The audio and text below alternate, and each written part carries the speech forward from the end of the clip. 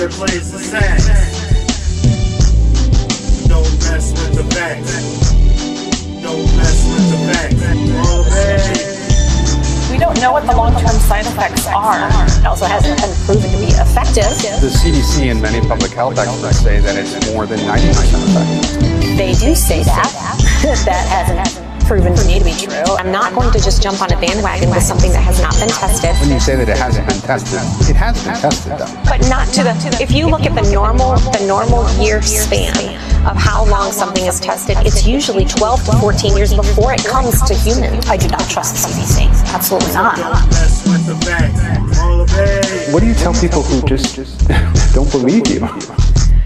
It's frustrating. Not these. They say they're not anti-vax, more anti-mandate. And I'm not comfortable putting something into my body until I am ready. If and when I'm ready to get the vaccine, I will get it in my own accord. It won't be forced. You just don't trust the CDC. And that fuels their skepticism. I have the right to question anybody in this country I want to question. You're entitled to an opinion, but these are facts. Are they though? Are they facts? Are they though? Are they facts?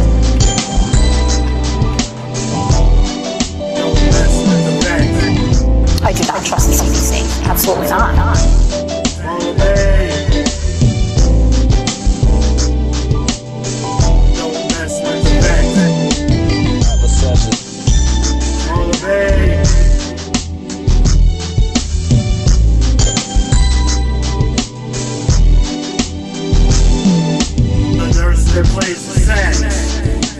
I do not trust the CDC. Absolutely not.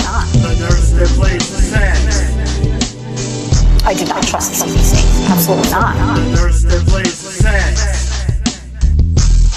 Don't mess with the facts. Don't mess with the facts. Don't mess with the facts.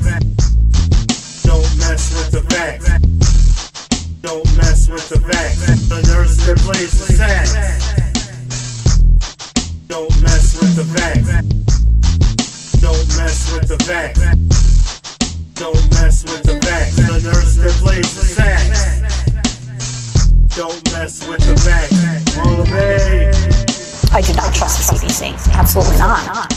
At Liz Sessions. Don't mess with the facts.